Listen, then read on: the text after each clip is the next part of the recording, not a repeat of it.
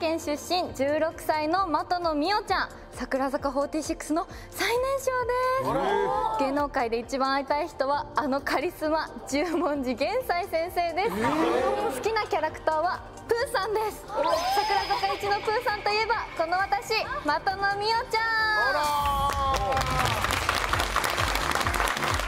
顔がちっちゃいね。本当だね。みんな顔ちっちゃいね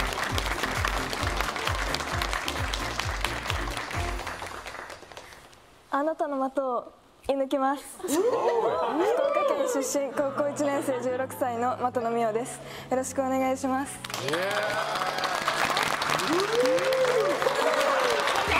こんな感じでしょ？ファンのね。プーさん問題。これ大戦争ですよね。ねえ。やっぱり私ですんでプーさんはんあれ。あれあれこの番組のプーさんは私ですんで。三人いるの？これ三つどもえの戦いってこ俺でしたよね。ですよいなかったですプーさんは。それだからそれ答え出たじゃん。どう見ても俺じゃない。違いますよ。答え出たじゃん。と確かにね。だからほんとホモスをさ真っ黄々に塗ってもさプーさんに見えないわけ。見て。真っ黄々に塗ってごらん。ほらプーさんなんだよ。違う違う私です。実写版実写版だよ違いますよ。ちなみにだけどサーモンとプーさんはどっちが好きなの？サーモンとプーさん。競ってるの。